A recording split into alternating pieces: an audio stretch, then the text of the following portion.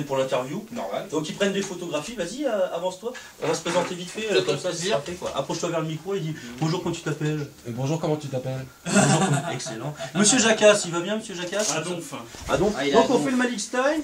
Malik Time, c'est le sport, c'est euh, la musique hip-hop et tout ça.